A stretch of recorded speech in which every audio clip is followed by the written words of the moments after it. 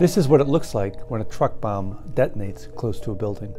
The ceiling is gone, the walls are falling in.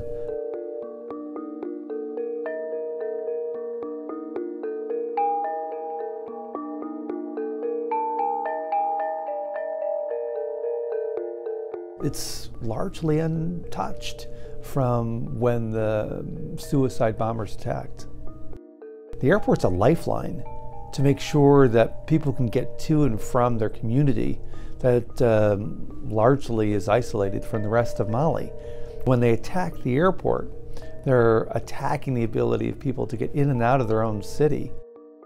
What struck me about the attack was how sophisticated it was. Defeating these terrorist organizations is going to be a generational effort.